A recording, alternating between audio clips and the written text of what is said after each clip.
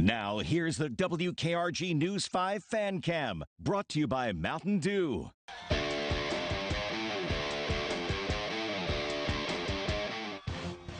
This week's Mountain Dew Fan Cam made its way to our game of the week. Saraland at Spanish Fort. They were wearing pink in honor of Breast Cancer Awareness Month in the month of October, and we know those Spartan fans were super excited tonight. Yeah, they always get a great crowd over there. What a great atmosphere for high school football. Certainly.